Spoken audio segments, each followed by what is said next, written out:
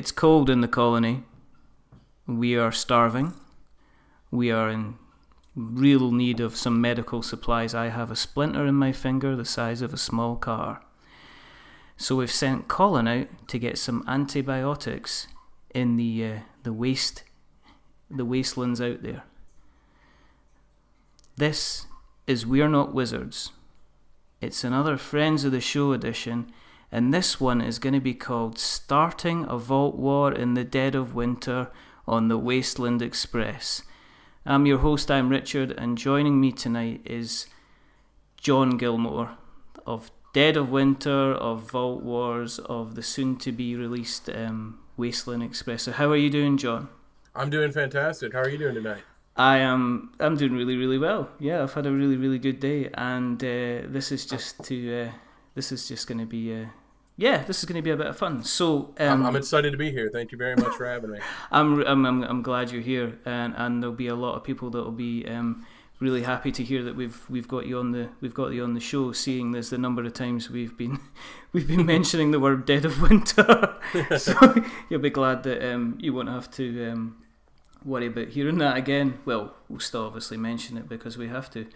Um, for those that aren't aware, the reason that we do this is because there are simply not enough podcasts about board games. And because we've sent Colin outside into the wilderness, there are not enough board games that podcasts that are done just with two guys. Um, so, Jon, um, we're going to keep the format as the show is normal. So, I mean, one of the first things that we talk about is uh, obviously um, what we've got to the table. Okay. But you're, I mean, you're probably doing what a lot of people listening to the podcast would like to do, which is you're involved in kind of like, you're involved in game design. I mean, you design games that have done really, really well that are out there. So, but I mean, going back, what, I mean, was was there a game that stood out in your kind of what kind of games did you play when you were younger? Was it the same as everybody else, Monopoly stuff like that, or? Um, you know, grow, I grew up in a very rural area in uh, northern New York, so I really didn't oh. have a lot of people around me. It was just pretty much my sister and I. Right. Uh, so we, we tended to play more video games than board games when I was a young kid. Yeah. Uh, then in high school, I was in uh, Boy Scouts, and at a uh, a big brotherhood type celebration thing where like uh, because I grew up like right on the Canadian border of New York. So they, would do, okay. they would do these brotherhoods where like all the Canadian Scouts and the American Scouts would get together and camp for the weekend. Oh, that was cool. Um, so I got introduced to Match Magic the Gathering at one of those, and you know, right, someone okay. someone sold me a, a starter deck and a couple booster packs and some extra cards. And... Were they like a dealer? Did they say you can get your first card for free? Yeah. Oh, yeah, they knew how to do it. I mean, they, you know, they, they gave me the the starter deck and some, you know, just crappy random cards for cheap, and then uh, the rule book and sent me on my way. And you know, within a year, I was an addict. So were you? Um, did you end up having to like sell stuff and seal steal stuff to kind of fund your fund your magic your magic habit? I uh, so it, it, was kind of a blessing that I was in a very rural area. Um, yeah because I mean I was I was a, a kid with a strong entrepreneurial sense. So you know uh-huh. what I did is I got all of my friends into Magic and got a lot of other kids in school in Magic, right, and okay. we we didn't have a game store within an hour of where we lived. Um, and th- this was before the heyday of the internet. Yeah, um, and in the back of Inquest, you know, which is a Magic the Gathering. Uh, it's an expansion, is it? Or... Uh, no, it's a, ma- a, magazine back in the day. All right, okay. Focused on okay. Magic the Gathering. Uh. In the back pages of that, I found a distributor that, um, after a few phone calls, I pretended to be a business and I was buying booster boxes of Magic the Gathering, um, cash on delivery. So were like, get, I didn't. were you getting them at cost as well? Were you yeah, oh yeah, cheaper? Whoa. Yeah, I, w- I was getting them for like a buck fifty a pack. So I would, you know, I would uh, buy a booster box of them, and and they worked on COD which is a thing that doesn't really exist anymore. No, you don't get that anymore at all. Yeah, so I, you know, I called up and they, you know, delivered a box of Magic Gathering, and I handed over my sixty bucks for sixty booster packs or forty-five, uh, however many, and then you know they cost me about a buck fifty a piece, and I would sell them yeah. for three bucks. and and I would pretty much just sell half each box and then keep the other half for myself. So you had a little empire going. Oh yeah, yeah. I had a I had a lunch box. And I would pack the lunch box with uh, you know booster pats, and then everybody in my school would come up and buy them during the day. Did you have a little stall at lunchtime? Did people come up and say, "Hey man, you got any of this? You got this?" you oh, got oh yeah, yeah. Pack? People would yeah. come up to me in the hallway or at lunch, and you know, obviously what I do, what I was doing was not really illegal, but no. you know, I, I, I was mean, fulfill, I was fulfilling a need that wasn't in our community, and it was um, you were being an entrepreneur. That's what they would call that. You exactly. were get, you were getting stuff done. You were providing, you were providing like, like you were fulfilling a need in your school. So that was yeah. So so, so once you built up your empire, and you laid waste to all your competition. I mean, did was there kind of competition? Did competition appear? Did you end up in turf wars? Uh, no, because nobody else really could figure out like how to you know get a hold of them at that cost. Like it, it was funny because I just you know I I honestly did most of the, my business on a payphone at school. Like I, I, this is brilliant. I, I, would throw you know like a dollar in on yeah. on one of my study halls and make yeah. calls to the distributors and get the stuff sent. Um, and, and, I, and, and nobody else just thought about it, I guess. And they sent that to. Did they send that to your home then? So did you get to the point where you were getting a couple of boxes delivered a week, or was it just once a month, or? I'd probably. I was probably doing like two or three booster boxes a month. Wow. Um, so I mean, I, w- I was building a really good collection, and you know, I think at the time the booster packs were actually selling at three fifty. So like I felt selling them for three bucks, you know, I was doing people a favor. You were still giving people, you were giving people a healthy discount, and they were still saving themselves some money. So I mean, you can't, you can't feel, um, you can't feel bad about that. So, I mean, did that? Obviously, that was a business. I mean, that wasn't just you know you playing magic. So, did you? I take it you played a lot of magic at the same time. I mean, did that did that help you move into other games? Is that where you kind of moved on from Magic after a while, or did you play it for quite some time? Yeah, I played it from about um, the Dark expansion until the end of the Urza Saga uh, arc, which I think was probably about five or six years, maybe. Whoa. So I played it for a good long time, and then um, when I moved to uh, Ohio, and well, first of all, when I went to college, like I oddly couldn't find many people that played at my college. No. Um, which was weird. I mean, but then again, this, this was like 1998, so yeah. So gaming wasn't died. quite as prevalent. Yeah, things kind of died off a little bit by then. Yeah, and then and then I moved to Ohio, and I still couldn't find anybody. Um, but I went to a uh, a booster draft tournament. Uh-huh. Uh, it was probably about an hour away from where I lived, and uh, it, I had the worst, one of the worst gaming experiences of my life. Um, Why was I think that? It, it, was it was the very first set that uh, Wizards of the Coast had introduced foils in. Right. Okay. And it was a booster draft, so um, you know I uh, paid to, for the tournament, and I open up my first booster pack, and the distribution in Magic cards is pretty well set. You know, yeah. it's you get yeah. X amount of commons and then two uncommons and a rare. Yeah, yeah. yeah. Well, and in a booster draft per- tournament, what rares you get is pretty important because that's a lot of what you structure your deck around. So, so oh, sorry. It, go ahead. You got it was bad. I'm guessing well, this was so, bad.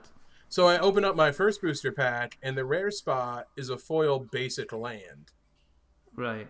So, I mean, a, a, completely garbage card, but it's in the rare spot because it's foiled. And then I open oh, up my right, second okay. pack, and it's another foil basic land. so did you just you pack up and go home if you get that? Well, I mean, I built, I it, and it was, it was a little bit of a problem because I'd been out of the game for about four years, so I wasn't totally aware of the current meta of yeah, the game. Because that's you know, really, that becomes really important. Oh, it's super important in a tournament. Yeah. Um, but I built the best deck I could, and then I got eliminated in the first round by like a ten year old. Um, and and I was like, "Up, oh, that I'm done. I sold all my magic cards."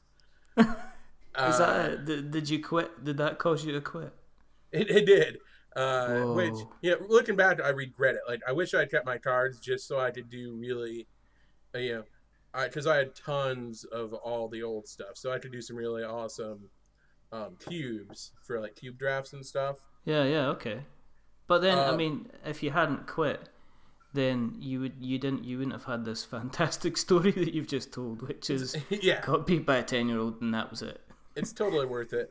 Um, so cut to you know probably another ten years later, and yeah. uh, my wife and I had been married, uh-huh. and um, we you know we realized that we were starting to spend a lot of time just watching TV and movies, and we would occasionally go over with her parent uh, to her parents' house and play the more you know traditional board games like Scattergories and Scrabble and stuff like that. Um, and you know, I knew that there were other games in there because like Inquest used to have advertisements for Settlers of Catan.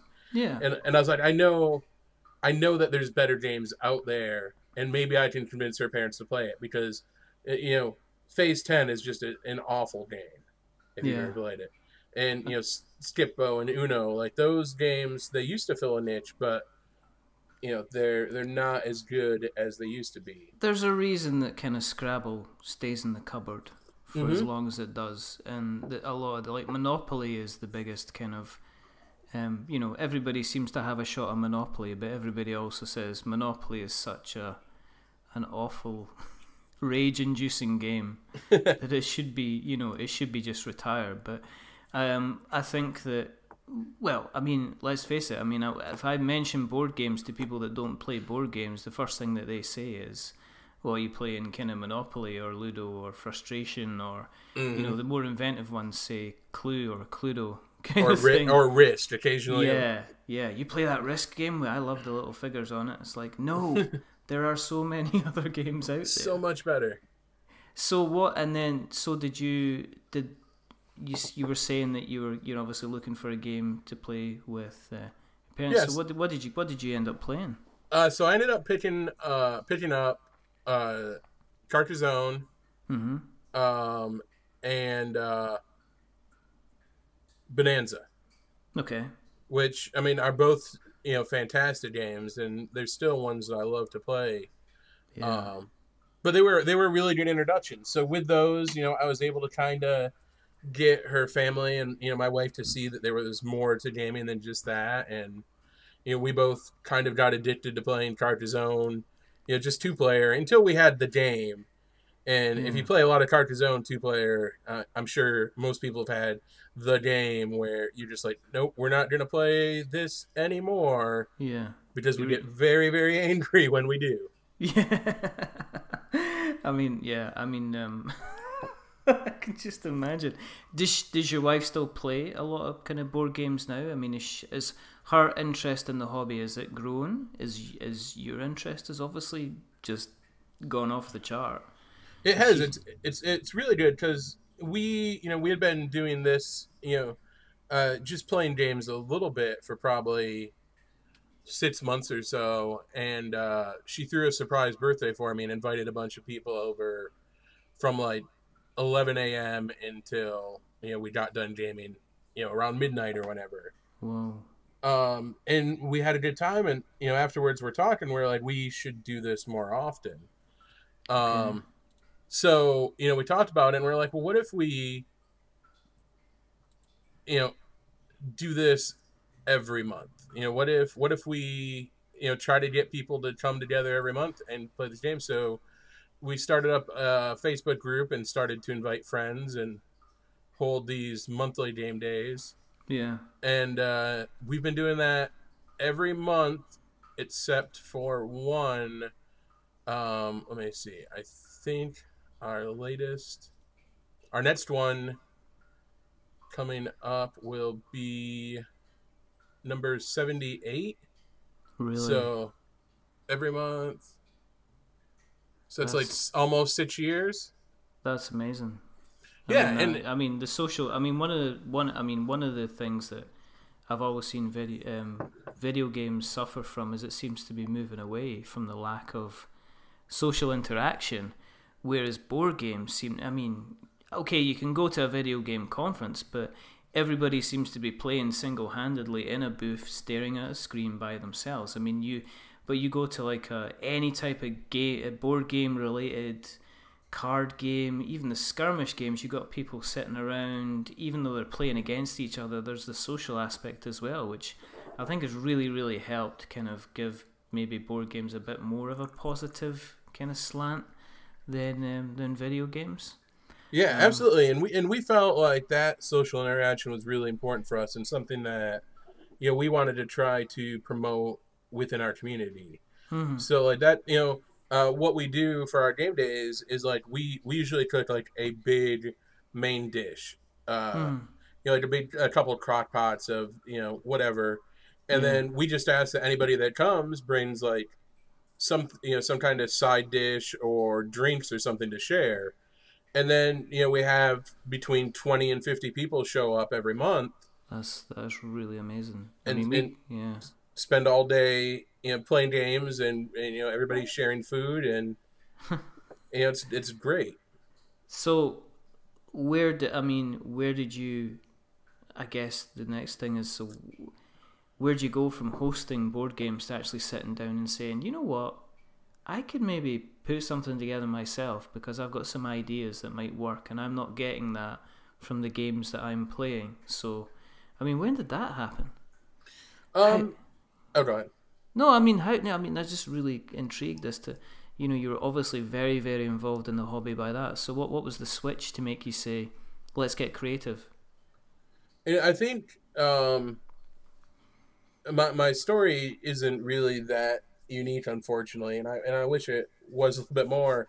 But um, I don't know. The losing to ten year old at Magic the Gathering and saying, "Do you know what? Forget it." That's a pretty good story. well, you know, on the on the design side, I you know I started you know kind of just tinkering, making little fan expansions for some games. Yeah. Um, and then you, you do that for a little while, and then you're like, oh well, know, I think I I could try to make a whole game. I have an idea that I think is unique, and uh-huh. you know, you make you make that first game, and it's a it's a hard thing to admit, but usually that first game is awful and, and mine was mine was complete garbage. I'll never go back to it because what was, was it? What was it called? Uh, I don't think I ever came up with a title for it, and I really like the concept. And every time I'm like, oh, you know, maybe I should go back and revisit that concept. I'm like, no, it was bad, and I don't think I can make it good. um, it was. You don't want to be that. Get this is this is a really good game, and people are going. It's Jon Gilmour's next game. People line him up, and they walk away and go, yeah, I mean, I, I am very much about uh, you know ideas are not worth anything. So no. a lot of people are like, well, I don't want to tell anybody my game idea because they'll steal it, and that's mm. really the, the worst perspective you could have on creating games because if you share your ideas, the only thing it's going to do is create discussion. Like, yeah, I, I'll gladly talk about my first design. Does if somebody wanted to steal it, they're welcome to. Uh, it was it was a racing game. No, no, um, where uh, you all the players played board gods that were creating this new sport, and their sport was racing humans against each other, um, but they weren't allowed to directly interfere with any of the humans. So it's a racing game where all of the uh, humans on the track move one spot forward every turn. Okay. So everything's going the exact same speed. Um, but what the play of the game was is you would play, uh, you know, play like obstacles in front of the other players, or right, you could okay. you could like you could set a bomb off behind your guy to like rocket him forward, or you could put like an ice patch in front of somebody else, or portals, or you know. So it was kind of this like wacky race game where it was more the people would move the same every turn, but you were trying to affect how they moved to either slow down the other people or speed you up. I mean, to be honest, I mean, me not being much of a board game designer, that sounds like a pretty good idea. And I'm sure there'll be people listening to this and going, "What? Jon thinks that's rubbish? That sounds good." Yeah, I'm gonna make. And, I'm and, gonna make. I'm gonna make that. and if somebody does, please just let me know because I'd love to see another approach at it. I just I don't know the solution to make it work.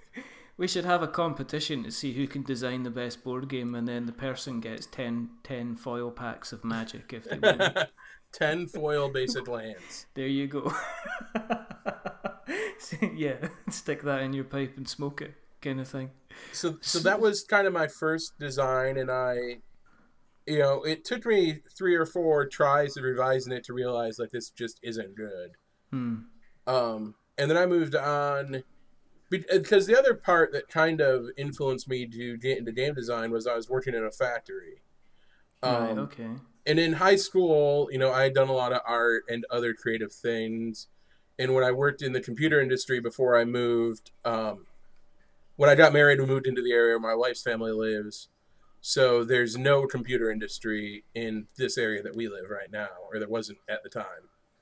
So, you know, I ended up having to get factory work just, you know, to make do until something better happened. So, you know, I really felt creatively stifled um in that I wasn't making anything. Like even though I was creating a pro- a product for 8 hours a day, you know, it wasn't something that I was passionate about. Listen, I know listen, I know exactly how you feel. I mean, I funnily, I mean, for people who don't know, and there's a lot of not a lot of people that that maybe do. Um, one of the other things I do when I'm not doing the wizarding thing is, or the we're not wizards, is I draw. I mean, I draw people, and I was, you know, it mirrors exactly maybe what you're saying is that mm-hmm. my job is. Um, I mean, I'm a, I'm I'm in sales. I mean, I sell for a living, and I'm mm-hmm. I'm not bad at it, but um, but there isn't as much creativity. So you know, one of the things that I started to do was to draw people, and that's kind of how we got talking because I ended up drawing. Was it you and uh, Jerry Hawthorne and Isaac Vega and Colby as well? And I drew you in a, as zombies for like a, a Dead of Winter kind of montage. Mm-hmm. Um, and that's how we got talking, wasn't it? Basically, absolutely. it was kind of from there. So yeah, I mean, I completely understand if you're in a job where you want to be, if your creativeness is maybe stifled in a direction you want it to be, then yeah, I mean, I completely kind of understand that. So, so the the job that you were doing meant you kind of got a bit more creative out of work. So, what were what were the fruits of that kind of labor then? Uh, so I I you know I wanted to keep making these games, and if if you yeah for new designers, if you can make it through realizing that that first initial game is probably utter crap, mm-hmm. and keep making things like that's that's really in my opinion the key to its success like just pushing through all the failures because even at this point in my career, you know, I have I have like 13, 12 or 13 games with publishers right now. You know, not counting uh, Vault Wars and the games that have already come out or that, yeah, you know. Yeah.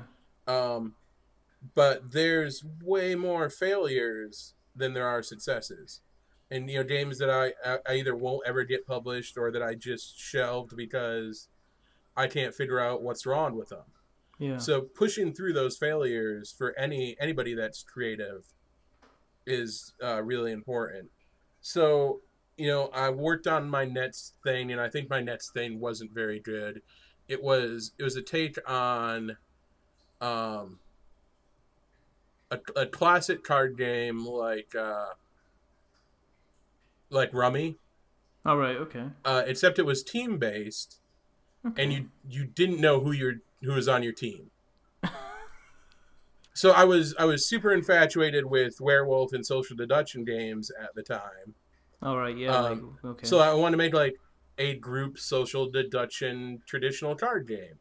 Uh huh. And like uh, the the main mechanic was kind of in Rummy where uh, uh, you would offer cards to other players, and all the cards were multiple use. Yeah, uh, yeah. But you would try to decide by like how you were handing cards to other players and who they were handing them to.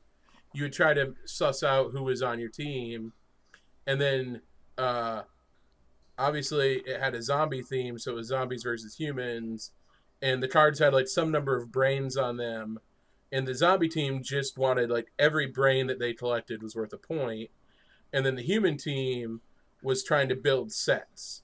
So like right, each okay. each player scored his individual hand and uh-huh. scored the thing that he had the most of. All right, okay. So like it was is really cool, and it's it's one I probably will revisit at some point because yeah. it was asymmetric, um, team based. But so that that one I shelved, and then I made uh, Pocket Dungeon, which now, that is... was 2009. That was the one that you the, you you say you released you released on the world. it was the off- it was yeah. Go ahead. And office productivity has never been the same. um, yeah, it was the first one that I felt was good enough to share. Huh. And I felt okay, uh, you know, with saying here's here's the thing I made.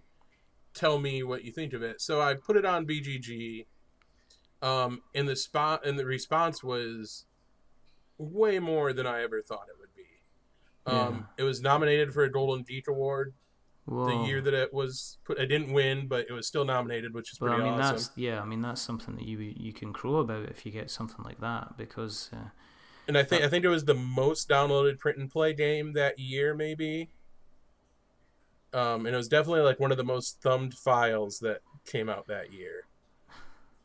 Um, that's pretty cool yeah, it was super cool, and just seeing that response was, you know, really like, oh well, okay, well the thing I made wasn't horrible, and now you know other people have verified that they think it's okay, so maybe I'll try something else. So, hmm. you know, Dad, I, I, had a couple more failed designs in between that, and then I started on uh, what became Dead of Winter, and I was honestly probably going to release that game as a print and play as well.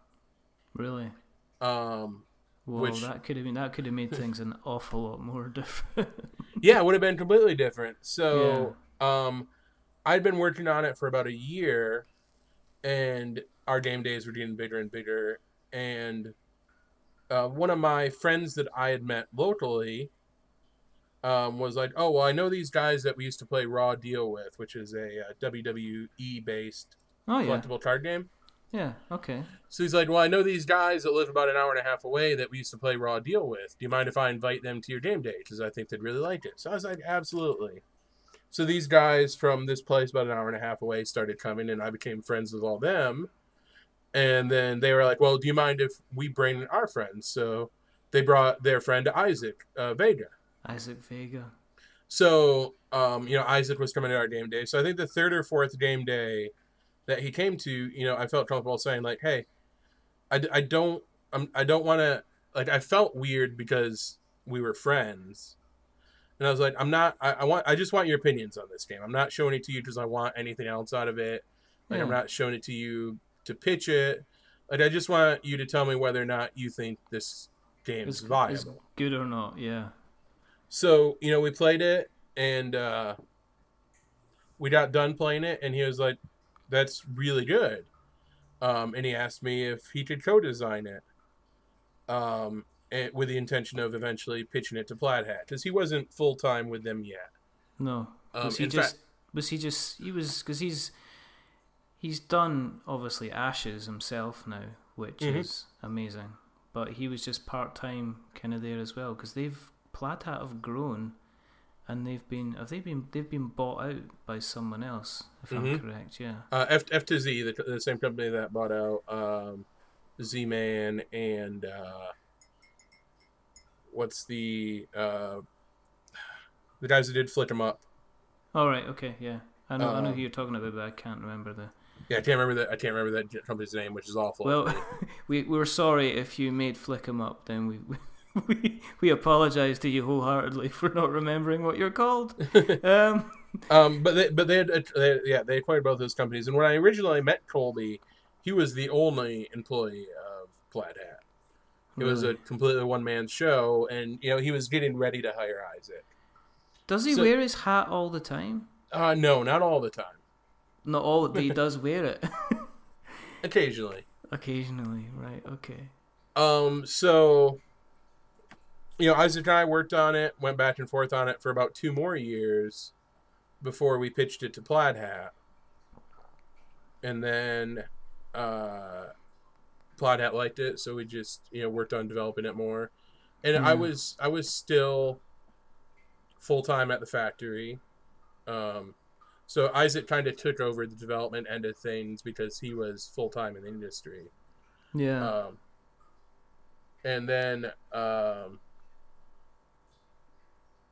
and then it got released. And at that point, you know, once it came out and was starting to be successful, I spent a lot of time thinking about you know what I want to do because it's a little bit scary because I you know when I was in high school I really loved working with computers. Yeah. Um, and then when I got a job in the c- computer industry, like I didn't want to work on my own computer anymore. No, no, And- exactly. And it's a real common thing that like when something becomes your job, that you kind of fall out of love with it, and it's because it's something you have to do. Because you're doing, yeah, I mean, you're doing it every day, and sometimes you need to be able to have a distance with it to realize where your kind of your passion lies. I mean, when when you got a copy, an actual finished copy of Dead of Winter, what was that like? Was that a I mean, what kind of do you still remember that day? Do you remember when you got the here's your here's your copy Oh, of Dead of Winter fully finished? I mean, do you, did you get two? Have you still got one shrink wrapped? I, Did I you don't sign have it? I, I don't have any shrink wrapped. I'm I'm really bad. I give I give away most of my, uh, yeah, most of my designer copies because I either give them away to friends and family, um, or you know I'll donate them to you know causes that you know I raise in money. So I I still I still have my very first copy, Dead of Winter. It's the one that I've played probably 125 games of it on um, and I you know used it for all the expansion work that I did. Yeah. And we'll get, I Um, we'll but- get on to we'll get on to that, you know, and obviously, uh, as you're probably aware, I, I called I called the long dark the dark night. Yes, But yeah, yeah, okay. I'm really glad you heard that episode. you totally apologise. Like, oh, that's good. As long as he hasn't listened to all of them. nope. Like, listen nope. to all of them. Listen to all of them. No, I called it the Dark Knight. Yep. No, I had to apologise. Yep. There's very little Batman in that game. There, there could be. There could be. I'm not. I'm not gonna ruin any surprises for anybody. I am not. I'm. I, I, I mean, I am. Um, I'm anxious to get my hands on a, on a copy of it because, um, yeah, just because you know it's it's, it's, it's an expansion. It's an expansion to a, a, a favorite game of mine. But um, that's kind of uh, beside the point. So, Dead of Winter's out there. Mhm. You've obviously um, kind of moved on. Um, one of the things we can touch on um, kind of later on is kind of what you're working on at the moment and what you've recently kind of been working on as well. You know, because Vault Wars is another game that we've had quite a bit of fun with at the club. It's a it's a good old uh, auction game which we'll touch on. With you being involved in the industry and with you having to sit down every day with your white with your white pieces of paper, because I've read this stuff on Wasteland Express. um, are there games that you're playing at the moment that still kind of get you excited? Is there stuff that you've got to the table? I mean, like what we say is we've got the get to the table kind of section of the show, but is there stuff that you've recently kind of got to the table that you've went, this is pretty good. I like this. I mean, is there games that you, or do you, I mean, you must play a lot of games to help you with your ideas, but are there any ones that you've played recently that you you've kind of liked that uh, oh, really enjoyed? absolutely. My one of my biggest problems, and my friends made fun of me uh, because they every time I tell one of my friends that a board game's good, they're like, "We we can't trust your opinion." Like I love almost every board game that I play. Everyone? About the only time um, that they listen to my opinion is when I tell them I didn't love that game. They're like, "Oh well, it's probably awful." If Jon didn't fall in love with it, then uh, we probably don't even want to play it. I mean, do you um do you get people do you get people sending you games? Do you get like mysterious packages in the post with people saying, "Here you go. What do you think of this?" Do you get that? People sending you stuff or Every now and then, I mean, I like to. It's important to me. Um, so if if a new designer or someone who's you know working on you know becoming uh, you know into the industry if they're like, "Hey, will you take a look at my game?" Um, you know, I'm I'm um almost always more than happy to make time to do that. So, um, you know, if a designer out there wants to, you know, share a game with me, you know, I usually tell them, yeah, send me. I I can't always take the time to print out and put together somebody else's prototype. No.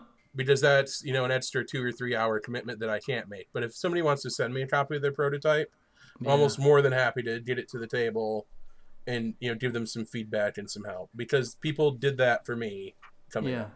And you're just gonna you're just kind of playing it forward at the at yeah. the end of the day, yeah. And uh, you know when every now and then, I I, I feel I don't like to get free games because I feel like I'm abusing my power. I even feel bad when I go to a convention and use my it, and use my it, industry badge to get in before the doors open to buy like a super hot game that I'm excited about before anybody else can. Is it not just a case though? It's shelf space as well. I mean, I mean, I I have a problem. I have a very bad problem. Uh, I I have a ridiculous number of board games. Yeah like an embarrassing number, like probably in the 2000 range. There's nothing wrong with that. I so, mean, that's you know, you you're you're obviously that's you helping to document an entire hobby. I mean, you could catalog that stuff. You could have a shop. I, I still try to convince myself that I do it because because of that. I don't know if that's true or not, but that is definitely the excuse I use on my taxes. Somebody has got to be going out and getting all these games because if some disaster happens, and we're all wondering what happened to the board games, we can go, let's head down to Jon's place. Jon's got all the board games. Well, some it's... kind of some kind of strange apocalypse type movie. yes. Hey, I tell you what, if Dead of Winter becomes true, we can head round to your house because you know we may be cold and hungry and tired, but we'll not be bored.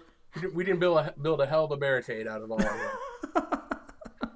um, but so, it, is there mean, anything? Is there anything at the moment that you're kind of you're really kind of enjoying playing? I mean, I mean, we mentioned off the oh yeah off, off the cast Codenames very quickly. Um, yeah, is there any um, anything I else? I love code names. Uh, uh, we've been playing uh, a lot of Deception, Murder, and Hong Kong. Oh right, okay. Um, if you can get your hands on that, that is like Werewolf mixed with Mysterium and Dixit. Yeah, you know that you know that I'm not a, supposedly I don't like Mysterium. Uh, apparently, according to Colin, I don't like it, but yeah, I, I, I, I honestly think that uh, Deception is better than both of those games. Oh, well, there you go. Uh, it, well, do, well, it does you, social deduction well, really well. Um, it does the because what's uh, what's neat is that everybody has cards in front of them. Yeah, and the person that's giving clues um, after like if I was the uh, forensic uh, investigator and I I gave my clues, I have to give my clues silently. Mm-hmm. But then all the other players have to take turns discussing what they think the clues mean. All oh, right. Okay. So there's a lot of context within that discussion. That's pretty cool. Um, I just got my copy of Scythe the other day. Don't because I missed out on that one, and I'm oh, gutted oh, no. because I had to get some work done on my car, or there was mm. some kind of financial emergency, and I had to go. I had it, and then I went, nah, I have to, I have to cancel this. I have to. There's, a, there is a list I think on of Kickstarter games that I have cancelled, um, because of financial constraints, and Scythe mm-hmm. is one of them. So you're you're now going to tell me that Scythe looks horrible, has shoddy mechanics, and is potentially the worst game you've ever played? Just to uh, make me feel better. If, if it makes you feel better, yes, all of that is 100% the truth. Thank goodness for that. it's it's not though, is it? It's brilliant, isn't it? Uh, I've only gotten to play it once with three players, so. All right. Okay. Um, but so far, I really dig what it's doing. Okay, I'll pretend I didn't hear that. but I understand completely. Like I, I backed out of uh, Zombicide back Black Plague. Like, Did that was. A, I'm not a huge Zombicide fan. Like that was one of the games. One of the reasons I started on Dead of Winter because I felt like the other zombie games that existed weren't doing the things I wanted to. Yeah. But I feel like Zombicide does Left for Dead zombies pretty well. All right. Okay. Yeah. Um, so I was really excited about Black Plague. So now I'm I'm desperately hunting around to try to find a Kickstarter copy of that. They're going for a lot of money at the moment. They're going for about I've seen them for a couple hundred pounds. Yeah, I missed um, yeah. I missed like there was uh somebody listed one and they were selling it for what they paid. Oh, and I missed dude. out on it. No. I mean, it well, went instantly. Like within a minute, somebody had offered to buy it. Well, let's start up the Jon Gilmour appeal for zombie Zombicide. Black no. is Black Flag.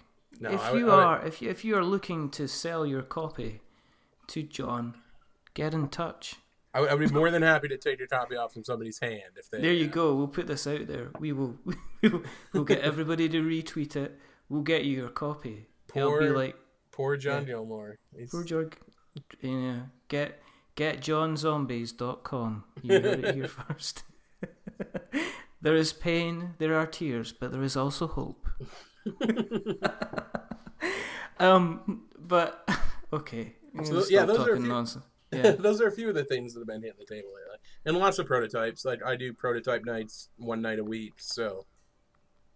We so play... is this when you get the cards out and just say, okay, let's muck around with stuff and see what we can come up with, or is yeah. it stuff that you've already been doing? Um, it's both. I mean, I, I usually do most of my like really loose prototyping during the day. Yeah. And I try to bring something that's at least somewhat functional to prototype night.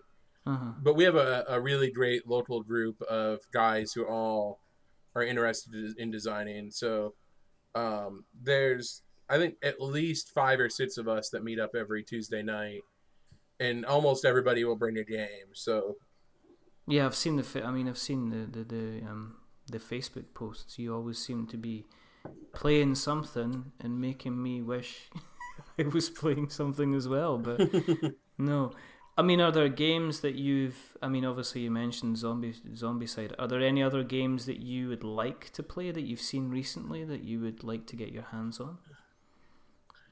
Um, I mean that that's been a big one. There's a few um, Essen or uh, I'm I'm really excited for Yokohama. Yeah. Um, and there's a couple other games from the uh, Japanese game uh, fair that really have me excited. Um, and some of the Essen releases from last year that we're still kind of waiting for to trickle out over here. Yeah, yeah. I mean, there's obviously there's then there's also kind of Kickstarter games that come out that then get kind of like a get kind of like a retail release as well. Oh, um, and I'm I'm eagerly awaiting my copy of Fireteam Zero. Yeah. Uh, that was a game that I kickstarted, um, and it's got gorgeous minis in it, and they had some production problems, so they just sent out the base game. Oh right, that's a shame. And the base game is pretty decent, but like there's so much expansion stuff coming that I feel like I don't want to play the base game until I have all that other stuff. So that's that's what I'm really excited for to come in. As you know, we um, we do give it a kick. So this seems like a natural progression. Obviously, you're not only um, somebody that you know has a lot of interest on Kickstarter because I think we follow each other on Kickstarter. So mm-hmm. on occasion, see you know, Jon's looked at this, Jon's backed, you know, this, and it's, um, you've had um, Heroes and Tricks quite recently that you were involved in with, um, was it Eduardo Baraf? Mm-hmm. Uh, you obviously also had Vault Wars, which was a Kickstarter kind of campaign as well. Um, a lot of people will know you about uh, will know you by Dead of Winter, but there's maybe not as many people will know you about Vault Wars. Um, I have played Vault Wars. I got, I mean, I've got a copy of Vault Wars. I've had a lot of fun with it, and it's, it's for those that aren't aware. It is essentially, you know, all all the heroes that win, that's fine. They go home with the treasure.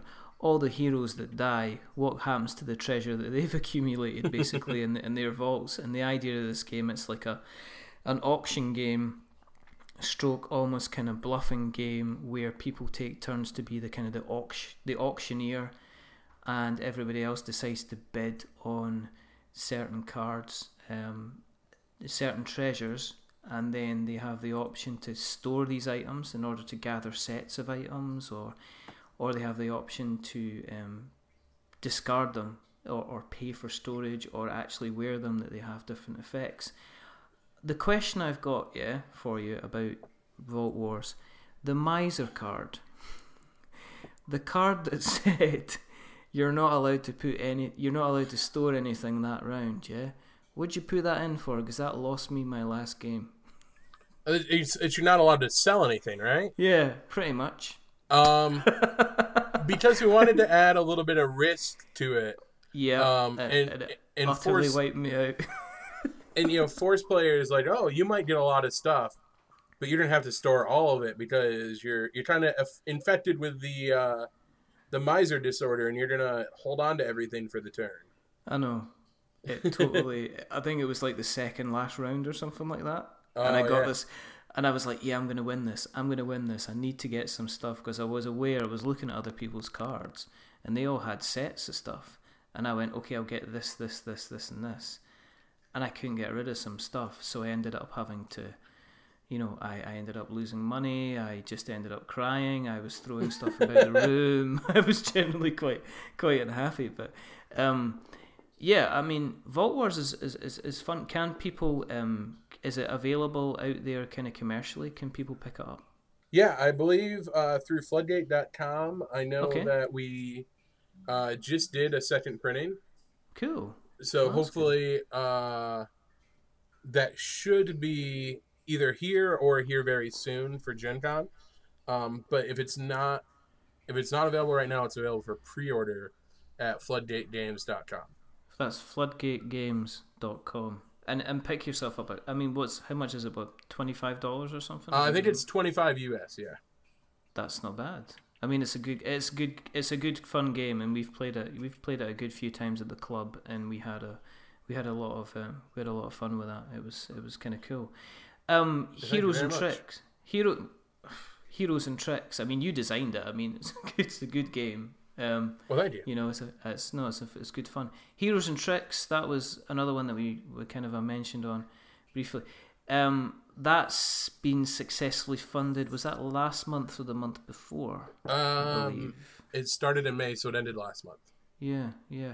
How's how are you getting on with how's how's production moving on with that? Then is that uh, it went real good. All the all our, we did another large. I'm very big about doing large play tests for all my games. Yes. Um, that was something that was important to me with Dead of Winter, and yeah.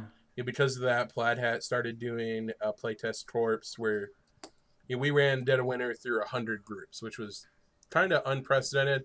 I won't say it was unprecedented in the industry because I'm sure there's been other people that do that large of a, a playtest, but yeah. it's definitely unprecedented for Plaid Hat um, to have hundred groups playing a game and you know ask them to play it 10 to 12 times within a month period is pretty huge.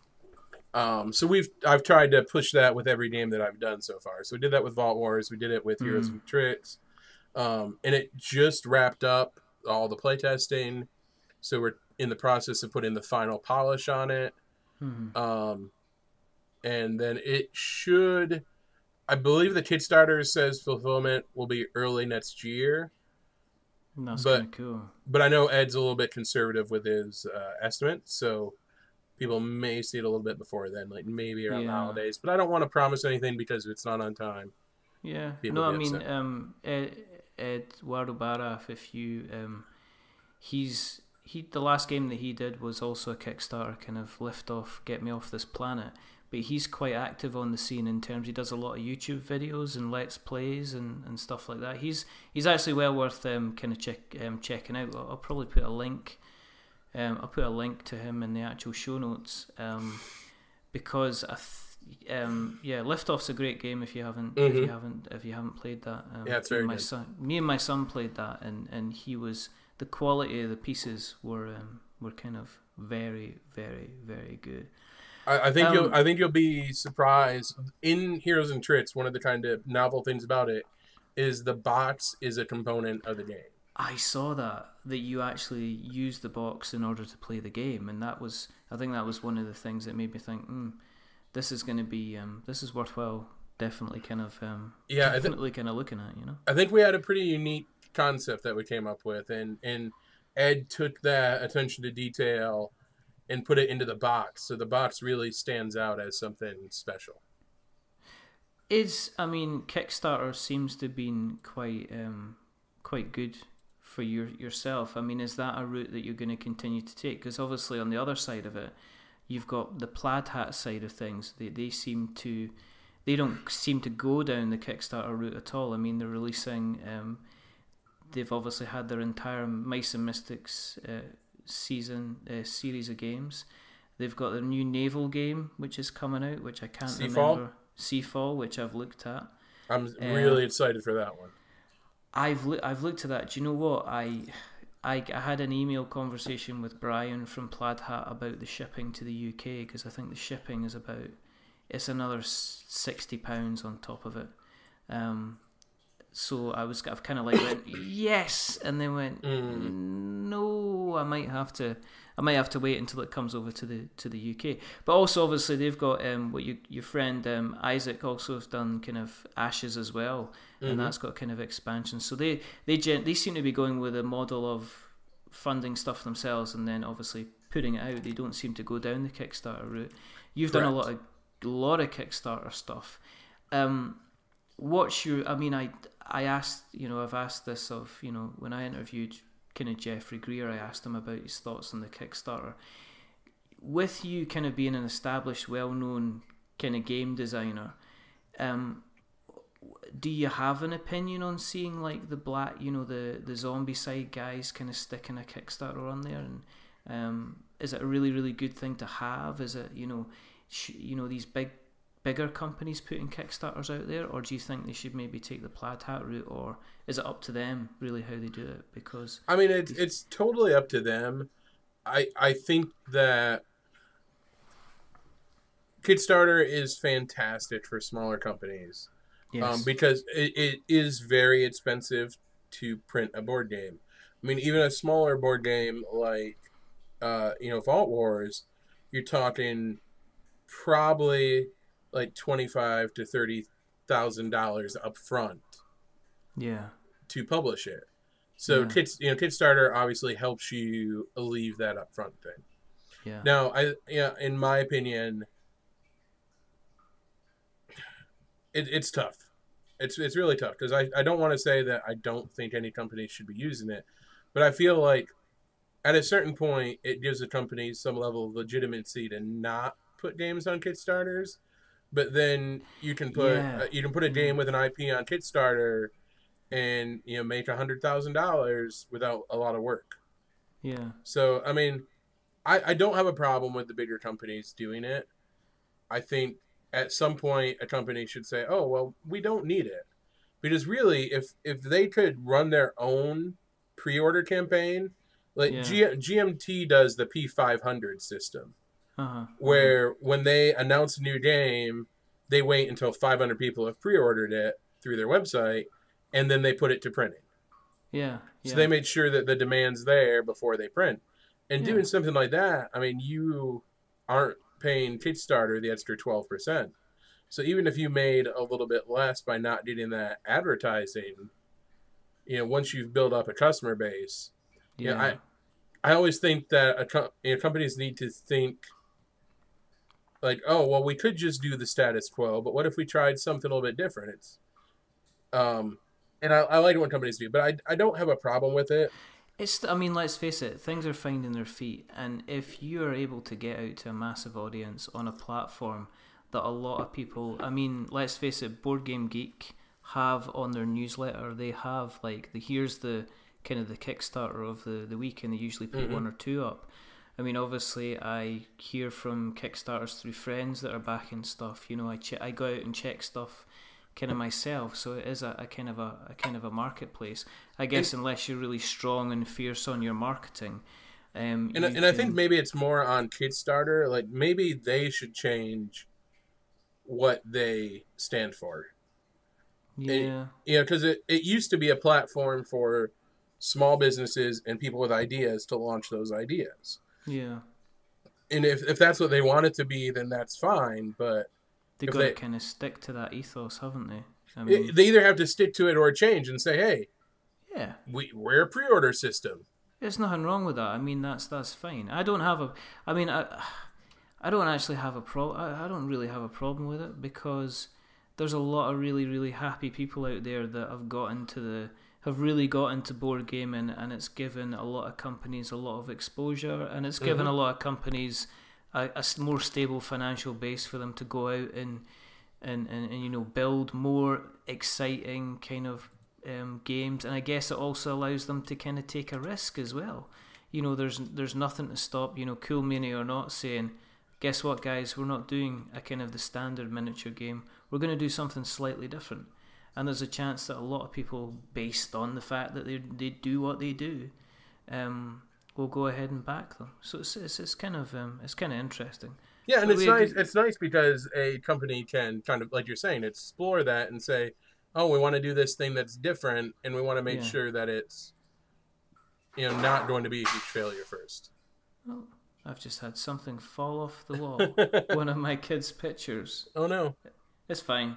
It's just a piece of paper with a with a clothes peg on it, but um, you should have stuck it up with something a little bit stronger. It's all good. It's all good. But yeah, um, so um, yeah, I mean, yeah, I mean, as I say, if they change it, that's fine. If they stick with the status quo, it's going to be fine. It's still a very, very exciting time. I mean, who would have thought that um, they said recently that more people are going to kickstart board games than they are doing for video games now, because mm-hmm nine times out of ten or 99 times out of 100 you are getting the product. Whereas it seems video games you're getting kind of delays or you're not getting you know you're getting a really really kind of disappointing kind of product um, there was a, I think a, a game based around the or very close to like the Mega Man franchise that got released recently and it was on the back of a Kickstarter and I think it got panned universally by the critics. Mighty Number Seven, I think, was the name. Yeah, right? Mighty Seven or Mighty Number Mighty Number Mighty Nine. Number Nine, yeah, yeah. yeah.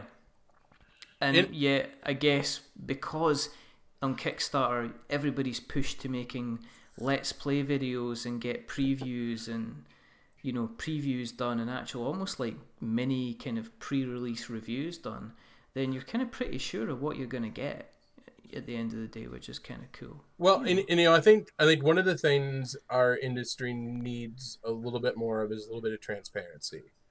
Like, yes. and it's something that the video game industry is discovering. Like, there was just a you know big controversy about some YouTubers being paid by Warner Brothers. Yeah. Uh, to promote their games and not disclosing that. Yeah. And and there are some YouTubers that are very good about disclosing that it's a paid Kickstarter preview yeah, and then there's. I think other... it was the manner that you know they were told that make sure what you do is you have lots and lots of text before you say this is a paid um, advert, mm-hmm. uh, and then you had to click more. You know, you, if you see the text on YouTube, you've got the show more bit that kind of expands everything, and they were kind of saying, well, listen, you have to press the show more button, and then that will show you at the very bottom it was a paid advert, and I think the the um, the advertising guys went, "Hmm, this is um, this is not good." Yeah, and, then, and, there's a big controversy right now. Um, Counter Strike Go, oh, uh, uh, the the betting websites where you go and oh, you put you put up your items and you feed them to a bot, and then they get randomly redistributed. Who would have thought that people kind of selling kind of different colored skins for guns would have been such a money making well idea? You know? Yeah, the, the the the YouTubers that are promoting that own the company. Yeah, exactly. And, and don't disclose it. And then so, their defense their defense was, well, you know, people should be checking out the ownership, the owners of a website before they click on the link, and it's like, no, nah, nah. uh, what? yeah, and and you know, I think, yeah, I think I think we need a little bit more policing of Kickstarters too, because it's there's a plague, and and I'll I promised myself I wouldn't get into it on this on this podcast, but there's you know a lot of games that don't necessarily promote good things. Yeah. And you know that promote sexism and racism and stuff like that that make yeah. it to Kickstarter and either aren't upfront about it or occluded a little bit or yeah. just you know fly in the face of oh we're being super offensive and yeah. you know those things i think are bad for our industry yeah i think yeah there's the i think cards against humanity is um is uh, you know some people find it very very fun um i've read i've read reviews uh, shut up and sit down did a one of the guys paul dean did an excellent mm-hmm. kind of write up about um cards against humanity that if you haven't read it then it's worthwhile kind of having a look over. It's kind of an interesting his take on on where it is, um, where it was as a game, and obviously that's moved on to. I guess you get with any games, you get a lot of clones, and if something is very very successful, then um, you're always going to get a clone if that ends up being a bad thing for something. Um, mm-hmm. Sometimes it can be a good thing, but I mean, the the standard joke on Kickstarter is there's always somebody that's making chess version two or super chess or you know chess you know chess chess chess or you know look at this what a lovely big chess kind of thing yes you know? there's and there's always going to be people there's always going to be people like that yeah so i mean as creators just everybody needs anybody who's out there making games should just think about like how how are the decisions that I'm making in this game, and how how is what I'm going to put out there going to affect other people? Mm-hmm. Is it going to make people happy, or is it going to make people feel bad about being who they are? And yeah. if if the answer is the former, then don't do that thing. Like if you if you're just making a cloned knockoff of Cards Against Humanity, which then you're not designing a game. No, you're just it, you're jumping you're jumping on somebody else's bandwagon of ideas and, and trying to ride the kind of the, the gravy train, I guess, you know. Um, yeah, and, and you know, I think I think we just as an industry need to stop accepting like, oh, that's okay, mm-hmm. and you know, games that promote that kind of, uh, you know, not. I feel like Cards Against Humanity has made steps to fix the things that they did wrong. Hmm. Um, you know, they they took out a lot of the really offensive cards. Yeah, and you know, a lot of the other points that Paul brings up about, you know, you're it's not you're not really being funny when you play it. Um, you know, you're just you you're putting together a punchline that doesn't take a lot of thought. No, I you know I I agree with him, but I think if people like that, that's fine because it it's going, regardless of how good or bad a game is. Like people pan Munchkin and Fluxx. Yes. Uh, but if those games help bring more people into the industry, I think yeah. that outweighs the them not being good. Yeah, I mean, it opens their it opens their eyes into what else is available, which is always a you know somebody that's got cards of humanity might also pick up Codenames. They might pick up um, one you know once night a werewolf. They might pick up you know then they might move on to Carcassonne. They might move on to mm-hmm. Kenny and other games. You know, um, and, I, well. and I, think that that's always, okay. That can always be a good thing. Yeah, yeah. Now, um, we're obviously we are going to talk about the the Wasteland Express, but we had. I went, oh, I'll, I'll put out a question if anybody's got any questions for Jon. And you know what happened? There were lots questions. Of que- there were lots of questions. So I'm going to run through. I'll go, um, run through as many as we can. Um, we can't promise we're going to get any of them, but um, I'll, I'll, get the, all the way through them because there are some. There are some interesting ones, and there's also some. there's a couple of guys that have just complained. which is quite. You'll have those. Quite good. Yeah, well, that's the boys from Polyhedron Collider, mm-hmm. which I think you you picked up on, but we'll, yeah. we'll read them out anyway. Um, there's a this is from the kind of the um, couple of guys have DM me directly, just asking. Um, this is obviously in relation to possibly Dead of Winter. How do you design a co-op board game? Um, that to minimize the quarterback effect. And I guess what they mean by that is one per- one person taking charge and running the show. Um, I guess that's one thing that you see with pandemic is that you get, you know, somebody goes cure this, cure this, cure this, go here, you go there. Um, do you, I mean that doesn't happen as much in or a lot in Dead of Winter because I guess the scenario is so many different scenarios. I mean, were you conscious of that when you designed it that you needed to make the kind of the variables of the outcomes and the scenarios as different as possible? Um, I think I think that was part of it. The other thing is um, that you know we have a hidden traitor, so you can't fully trust anybody's motives. Yes. Like if you if you're telling me to go do something, you're telling me to go do that. And even with just the secret objectives, if you're if you're telling me to go do something, it's probably because you have other stuff to do. So why should I listen to you? I have mm. my own stuff to do. Okay. Um, okay. I, I think I really think the quarterback issue is about seventy five percent a player issue and about twenty five percent a game issue. So yeah. you can you can do things to help relieve it a little bit. Yeah. Um, like Flashpoint does a good job. If you've ever played it, it's the firefighting game. Yeah, yeah, yeah, yeah. Um, it's yeah. very it's very similar in play styles to Pandemic, but it adds a rule where a player can uh, save their action points for the next turn. And like that that little change makes it so that a player who doesn't know what to do has a safety valve. You don't have to spend every action as efficiently yeah. as possible. You can say, "Oh, I don't know what to do. I'm just going to pass gonna, and, and save these back. other two points." Yeah. So you know, you don't have another play, player telling you what to do. You still can. I mean, mm-hmm. it still it still happens in that game in Dead of Winter, but in Dead of Winter, you can just tell the other player to sod stop. off. Yeah, stop it. so, sort your life out, basically, or you're going to get exiled, mate. Exactly. And that was that question was by um, Lion Yeti. Um, the next one is by uh, Sea Bird Song. Um, he says that I don't know if you have anything to do with this, but he says the Dead of Winter card replacement app has a substantial rules change where you don't get to know the results of a choice before choosing it. What's up with that? What's up with that, Jon? What's up with that? What's um, up with um, that, Jon? I I definitely have opinions about that. Ooh. Did you? Uh, all right. Okay. I I've I have stated those opinions on Board Game Geek.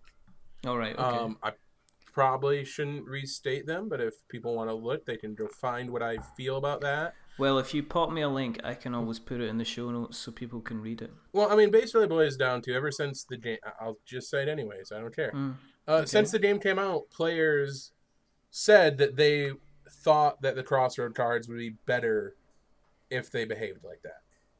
So with with the app, we gave players the ability to play the game the way they wanted. All right. Okay. In my opinion, it's not the best way to play the game. Hmm. Because here's here's the situations.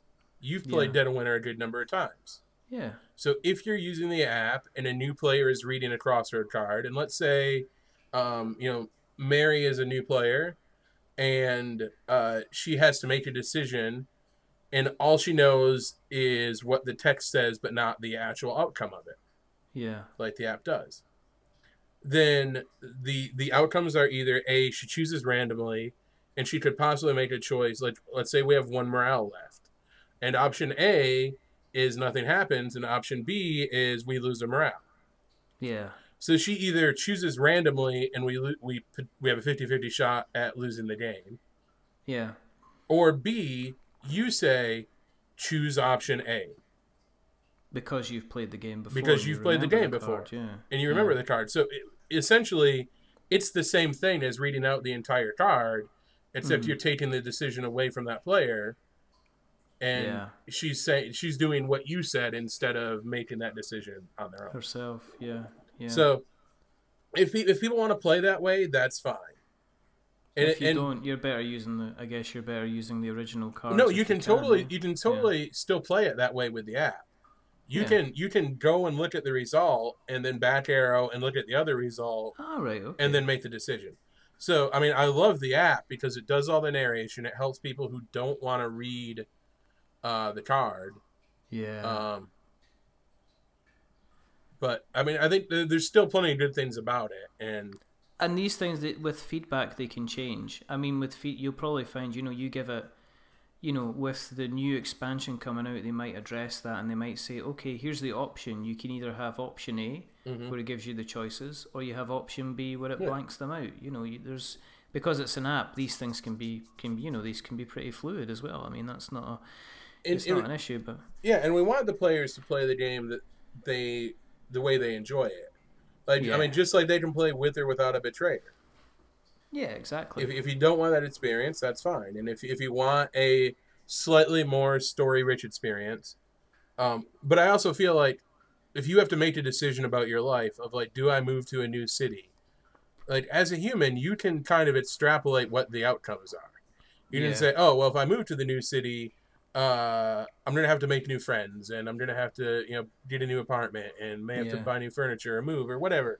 So yeah. I, I feel like it's not that far of a thematic stretch to say that when you're at these crossroads, you can figure out what the results are. Yeah, cool, cool. Next question we have, um, as you probably listened, we got Nick. Nick is a question um, junkie on, on Twitter. If we say go and ask him some questions, Nick's usually got about five or six. Excellent. Um, and as you know, his first question is always yes with a question mark. This is uh, Nick. He's um, at Lane Lane at three sixty. Um, his next question is How are my non wizard friends today? Fantastic, Nick. Thank you for asking. Absolutely fantastic. Uh, he says, What game should I get next? Well, um, I was going to say. Oh, wait, he's tied it in with the next one, which is. He's asked if I'm going to get him a copy of Dead of Winter, which is nice of him. Um, what game should he get next? Well, um, Wasteland, mean, Ex- Wasteland Express is coming up on Kickstarter. Yeah, uh, no, that will not be on Kickstarter. It'll be pre-order. Oh, pre-order. Sorry. Yep, that one uh, is not going to be Kickstarter. Well, there you go. So we'll talk about that in a minute, actually. Um, his next question is: Have you ever read any of the White Wolf fiction? I have not. I've only played uh, one White Wolf RPG. Okay. Um, and I liked it and, and I played some D and D in high school, um, and I'm hmm. and I'm more into storytelling games now than role playing games.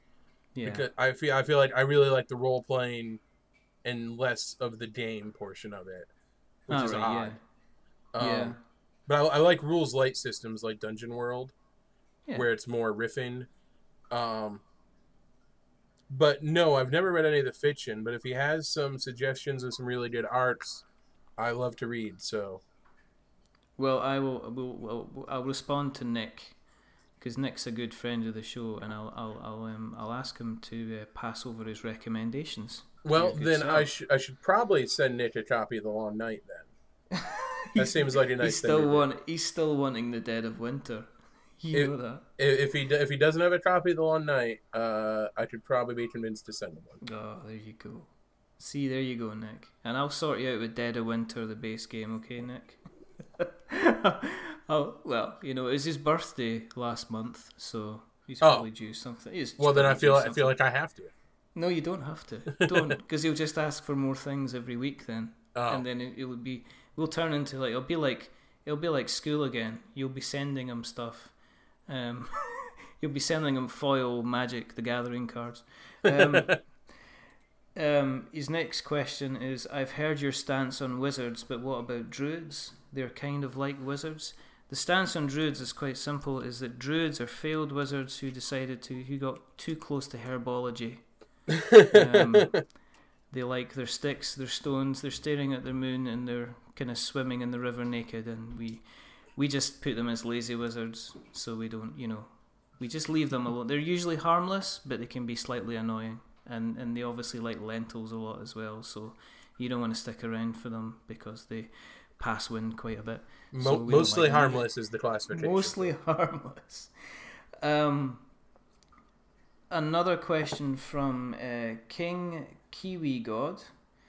Um, he says, "Ask Jon when he's most in the zone for thinking about new aspects of an amazing game. Um, is it at home, at work, or when you're eating? I guess. uh, um, I, you, uh, you, you, you work from home, don't you? So. well, I actually I started renting an office about four or five months ago. Oh, there uh, you go then. Just to kind of get out of the house a little bit, so I can yeah I can pretend that I go to work every day. That's kind of cool. Um, where you where you going, honey? I'm off to the office, honey.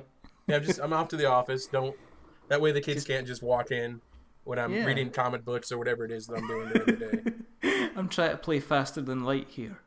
oh, I love FTL. That's an excellent yeah, game. Just leave, you know, just leave, just leave us alone. I'm up to this level. Come on, my engine's just gone. Um, inspira- uh, inspiration kind of hits me everywhere. I I try to write down ideas whenever I think of them as soon as I think of them. Um, so whether it's you know, I, have had times where I wake up in the morning and I like dreamed about playing a game during the night, mm. and I'm like, oh, that would be fantastic if there was a card based robot fighting game with minis that you like steered your robots with your deck. We always joke about a steampunk zombie game. Yeah. So like sometimes I'll just have weird dreams about stuff like that, and then write those ideas down. Or uh, you know, sometimes it just be through a conversation where somebody says something that's you know, apropos at nothing, and and you go, ah, give like, me yeah, a second, let me yeah. just get my notepad out. That let me jot that down. That was interesting what you said about the mechanic about going and feeding your rabbits. yeah, kind of thing. Um, he's also asked this is the same question from uh, King King Kiwi God. He's also asked, how close is the retail version to the first version of Dead of Winter that you created? Uh, it's very different. Okay. And that's that's really the path for any board game. Yes. And it's it's frustrating for new designers, um, when they're like, "No, this was my concept for the game. This is your first, yeah. This is the first vision, and this is the way I'm. Uh, this is the way I'm going to keep it. Yeah, because a lot of times, I mean, the publisher has their own vision once they see what you're working on. Hmm. Um, you know, the art may not be the style that you envisioned. Um, no. So that's that's always part of the process. Is it just changing dra- dramatically or dr- dramatically, not a made up. Yeah, well, word. the game the game we spoke about recently on the last um, well the last episode me and Colin did was Catacombs, and the the third edition from Catacombs went in a completely different kind of art direction mm-hmm. from the previous versions, and they, they turned it from something that looked like a a descent kind of dungeon crawler into the kind of the cartoon um, the cartoon masterpiece that it kind of is today. Now, um, now I um, haven't listened to the last episode. Um, what's interesting about that third edition of Catacombs is that Kwanchai, uh, the the gentleman who did the art for it, yeah. uh, had done the art as a fan expansion for it, where you could really? download it from Board Game Geek and re-sticker it with that style of art. Really? And then they're like that fan base thing, and th- what's really cool is like that's a big part of our industry. Like you yeah. can you can make fan content for things because people will see that. Yeah, well, I've heard about fan content for kind of Dead of Winter. I mean, I've heard about people substituting kind of different things for the zombies like wolves and stuff like that and tried different kind of ways of doing it and I'm you know I guess you know that's you in video games you get mods so I guess mm-hmm. in board games you're gonna get kind of like your fan your fan input as well I mean just don't make anything uh, don't make any fan content for Game Workshop obviously because they, they will send somebody to kill you if you do and they actually send somebody dressed up like an inquisitor or something like that. You get a blood angel turning up at your office. and I'm not I'm not supposed to talk about it much yet.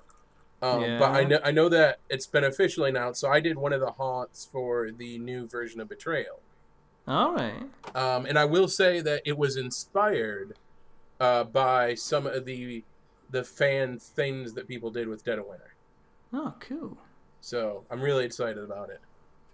Well, that, I mean, I guess that's the other thing. If you see an idea and might spark a little bit, uh, you know, spark something else, which gives you even more of a, you know, an idea for something else. Mm-hmm. Um, Kiwi God also asks, um, how did the did the theme evolve at all when you started off designing Dead of Winter? Did you was it a these are guys that are lost in a colony, no food, no water, potentially ill, and they're fighting against, you know, they're going to have to come up against zombies, or did it evolve from something else? The theme started pretty dead on. Like, I knew I wanted it to be a zombie game that focused on the survivors uh, mm-hmm. uh, and took place in a really harsh winter. Like, those three elements were there from the very first version. Fantastic.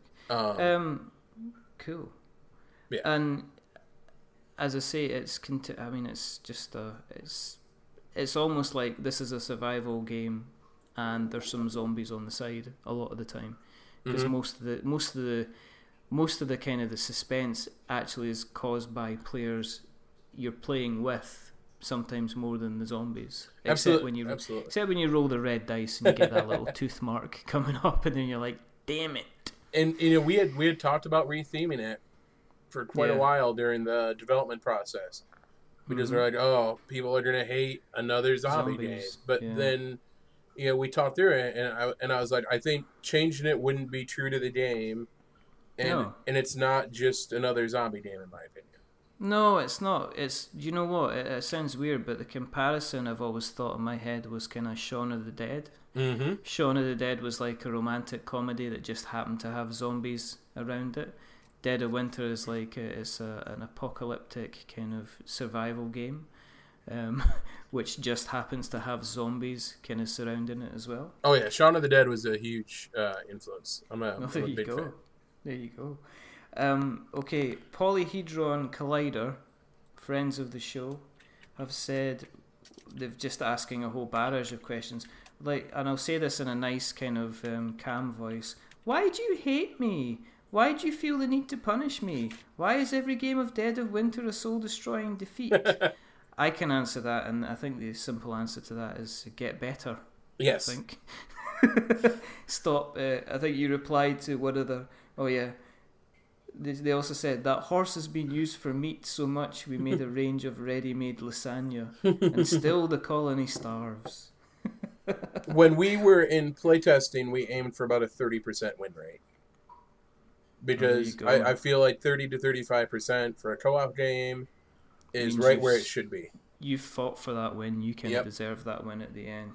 I like your your your reply is because you replied on Twitter. Are you playing every single outsider card you find? Most people do, and you shouldn't. I didn't know that. I didn't know you could decide not to bother taking an outsider. You could just leave them there. That that is the as as far as I've gathered over the last couple of years. That is the most commonly mistaken, one of the most commonly mistaken rules. Um, there you go. Because the rule book says that every card in the deck is an item card, but they mm. say events. When people say, see event, they think they have to play them. Hmm. So it can be a little bit confusing, but yeah, for anybody listening, you don't have to play outsider cards. You can trade them, you can request them. In fact, like in my group, if you have more than one more outsider than any other, or one more survivor than any other player, you're probably yeah. going to get exiled. Oh. Well, so because because more dice yeah. is more you can, and when people complain about the betrayer double turn, like yeah. I think them not understanding that rule plays into that the majority of times because you shouldn't have more than two or three survivors. No. If you have if you have five survivors and you have six dice to spend swinging morale then yeah you can yeah. make a big swing with two back-to-back turns. Yeah yeah. But with with three dice you're not going to make a huge swing. No. No point so, and the last thing Polyhedron Collider said, we had a couple of wins under our belt, started to get cocky and pushed the difficulty up. We were not ready, and that again just goes back to stop being, stop being rubbish. Yep, just be better. stop being, yeah, just be better. You know. Hard hard mode is supposed to be hard mode. If if normal mode is thirty five percent, hard mode's mode. more like ten. Well, there you go. And oh, here we go. Yeah, Nick, I was looking for this, but Nick did come back and ask when I'm sending him a copy of Dead of Winter. he's obviously what he's, you know, he's just pushing it far too much. But that's that's entirely up to up to himself. um, obviously, we've done Give Us a Kick, which is cool. Um, one of the things that we always do is we do shout outs and we do like a list of podcasts and friends of the show and stuff like that. And I don't want you to have to sit through kind of um, that, um, and we do it regularly enough that everybody that you know that we everybody that we, we speak about knows that we speak about them anyway. Um, but obviously, the shout out is a chance for you to tell us um, about new product, new projects that are coming up. Um, as I say, we've mentioned Heroes and Tricks, um, mm-hmm. which is successful, but Wasteland Express looks very, very interesting indeed. So um, I'd love to hear a little bit more about it. I have not. I'll tell you, I've not. I've looked at it. It looks very, very interesting. But for anybody that hasn't had the time to look at this, give us a rundown about you know what is Wasteland Express and, and why should they be thinking about it. Well, it's a uh, post-apocalyptic uh, pick up and deliver game that was designed by Matt Riddle, Ben Pinchback, and myself. Uh, those cool. two designers have designed some fantastic games. Um, yes. Um, so I was really excited for the chance to work with them uh, when they when they approached me. Cool. Um, so it's it's a pick up and deliver game. So it has a little bit of Euro game to it and a little bit of Ameritrash to it, and you can really play it in either mode.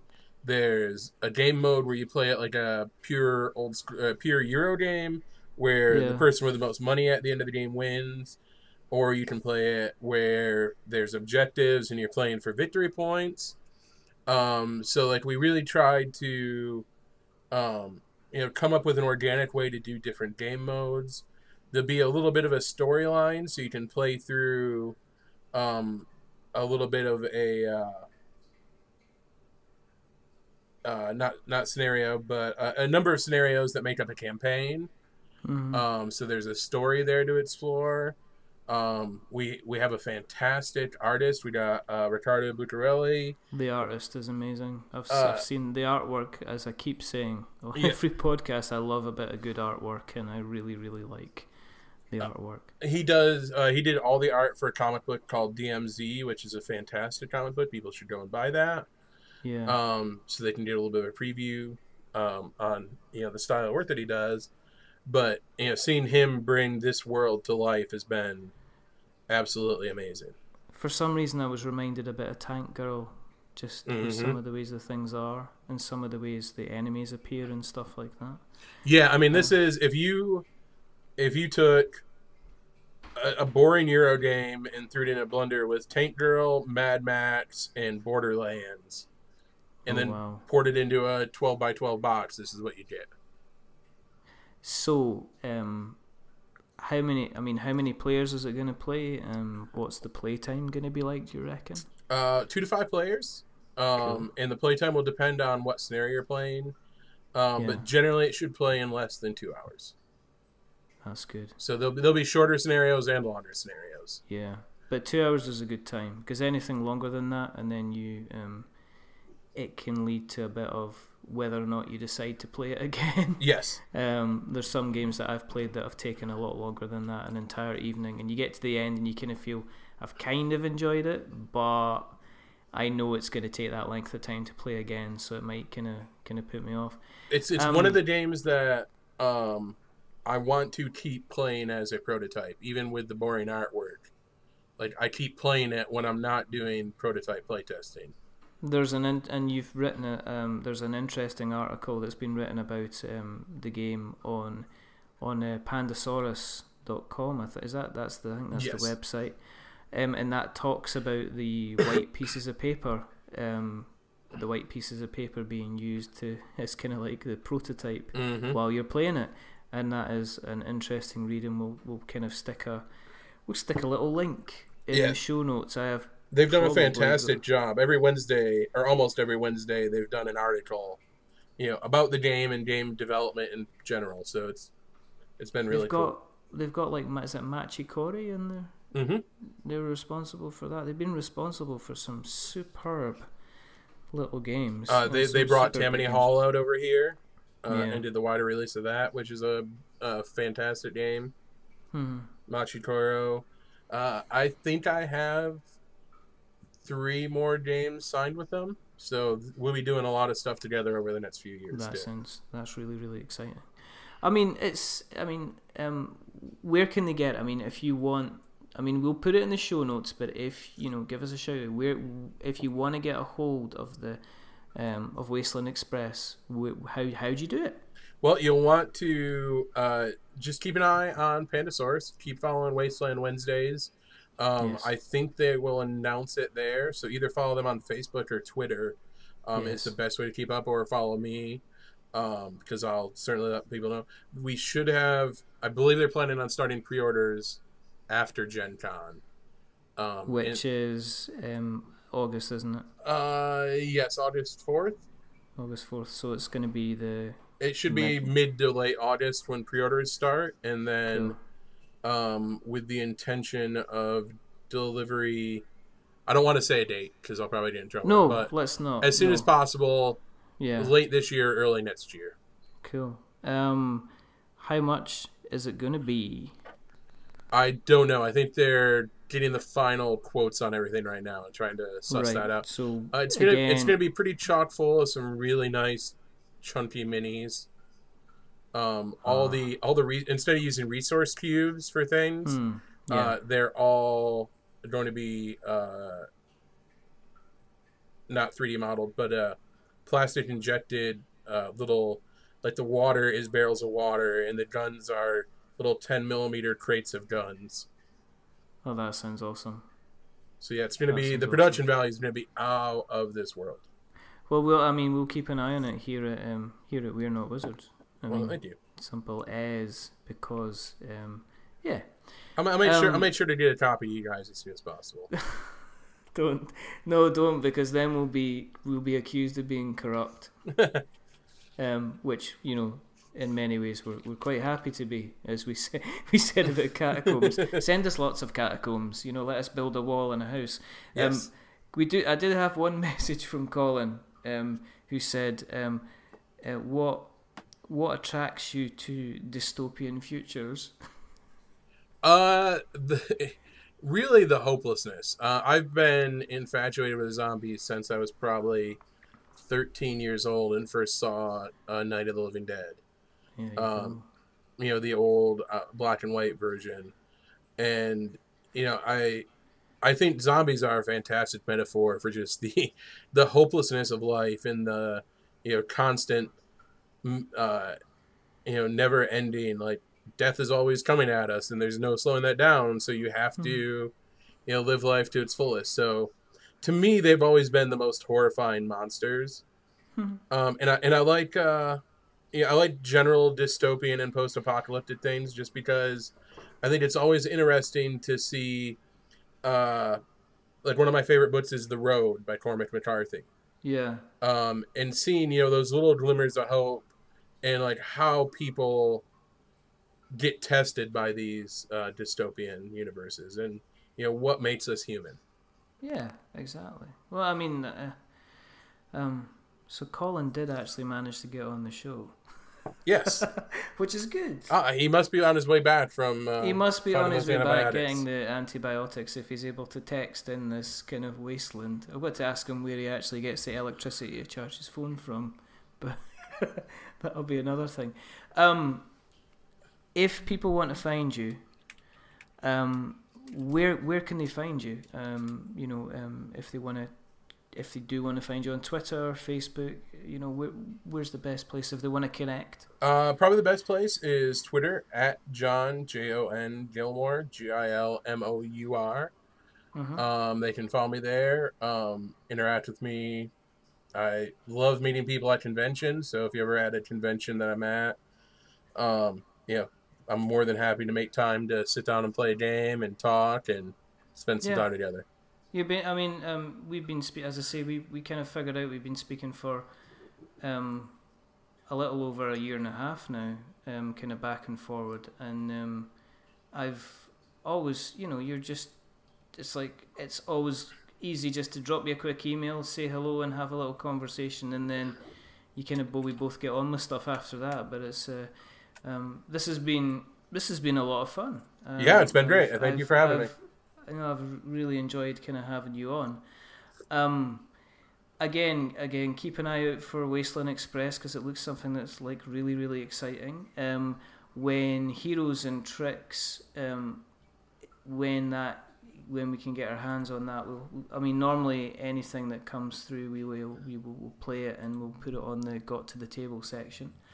Um, for ourselves, you can get us on Twitter at We're Not Wizards. You can get us on Facebook, facebook.com forward slash We're Not Wizards. You can email us magic at we're not wizards.com or .co.uk.